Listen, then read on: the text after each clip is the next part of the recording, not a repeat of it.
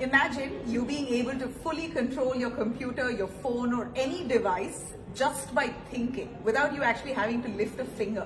Well, that could soon become reality thanks to Elon Musk, who sought permission from the United States government and has successfully implanted a chip in a man's brain only to establish direct communication pathways between the human brain and the computer. So Elon Musk's company called Neuralink is carrying forward with this project. They've termed this technology, they've called this technology as telepathy.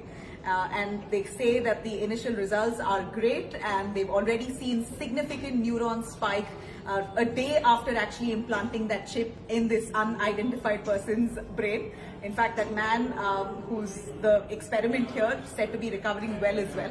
And Elon Musk says that the first set of people who get to use this technology would be those who do not have limbs and cannot move. For them, this technology indeed will be path-breaking. He's given an example of Stephen Hawking. Imagine if Stephen Hawking can actually uh, type faster than a speed typist just by thinking. So that's what the technology does. If at all it does become reality, then it's path breaking, not just for them, for everyone. For me and you, leave your comments below. What do you think of that?